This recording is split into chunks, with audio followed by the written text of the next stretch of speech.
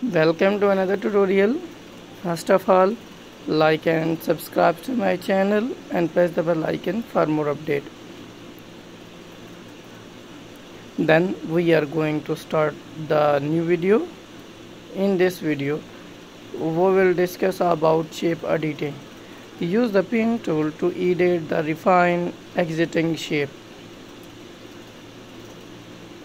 Advanced HDR techniques HDR merging merge multiple exposures to create a single HDR image with the wider and dynamic range. Thank you so much for visiting my channel.